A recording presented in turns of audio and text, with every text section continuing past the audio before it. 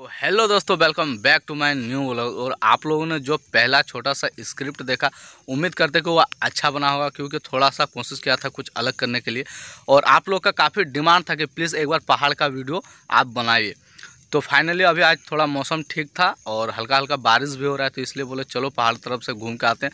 और घर से नज़दीक भी है तो इसलिए मैं और बीरेन आया हूँ और आप लोग को दिखाते हैं यहाँ का पूरा सीन किस तरह का और चैनल पर नए हैं तो चैनल को सब्सक्राइब कर, बेल आइकन प्रेस ज़रूर कीजिएगा, ताकि आगे भी इस तरह का ब्लॉग आप लोग को देखने को मिलता रहेगा। और हाँ टैग चैनल अगर सब्सक्राइब नहीं किए तो डिस्क्रिप्शन पर लिंक दे दूँगा, जाके आप सब्सक्राइब कर लीजिएगा। और अभी आप यहाँ पर देख सकते कुछ इस तरह का बड़ा बड़ा पेड़ है, जो कि आज से तीन साल पहले भी पेड़ सब लगाया गया था, पूरा खाली था, इसके पहले कुछ भी नहीं था, बट अब लगाया गया तो काफ़ी बड़ा बड़ा हो गया है। आप देख सकते हो मेरे चारों तरफ़ इधर, और ये जो देख रहे हैं आप लोग यहाँ पे यहाँ पे ए ललिता सॉन्ग का शूटिंग हुआ था, जो कि टॉम सोरेन का है। आप नहीं देखें तो वो दे दूँगा लिंक, देख लीजिएगा, उसका शूटिंग भी नहीं देखे तो मेरे चैनल पे आप लोग देख लीजिएगा।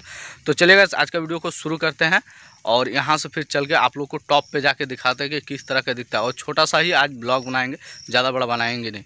तो चलिए फिर यहाँ से चलते हैं और दिखाते हैं सारा।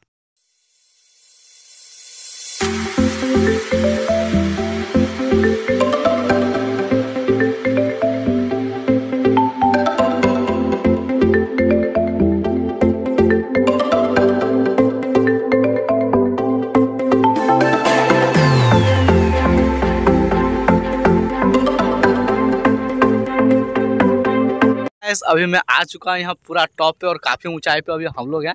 तो ठंडा ठंडा हवा चल रहा है और थोड़ा थोड़ा बारिश भी हो रहा है तो काफ़ी अच्छा लग रहा है। और यहाँ का व्यू आप लोग देख सकते हैं कुछ इस तरह का, काफ़ी मतलब हम लोग का गाँव देहात में इस तरह का ना मतलब जो व्यू है, ये काफ़ी खूबसूरत होता है। और जो पिकनिक में हम लोग किए थे, वो वाला पहाड़ अलग था और ये वाला अलग है। तो उसका भी अगर वीडियो नहीं देखे तो डिस्क्रिप्शन पर लिंक दे दूँगा, जाके देख लीजिएगा और चैनल को भी सब्सक्राइब ज़रूर कर दीजिएगा। और यहाँ पर देख सकते काफ़ी हवा भी चल रहा है और नेट का स्पीड तो पूरा फास्ट है, ठीक है।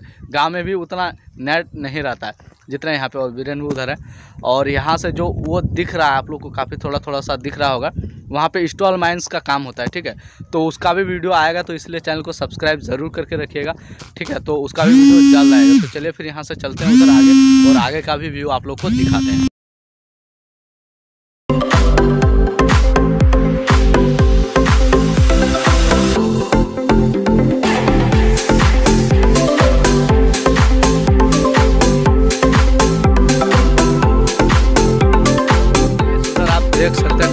हैं थोड़ा सा आप लोग को जूम करके वो वाला आप देख सकते हो, उधर धान का खेती क्या हो और काफ़ी अच्छा दिख रहा है यहाँ से।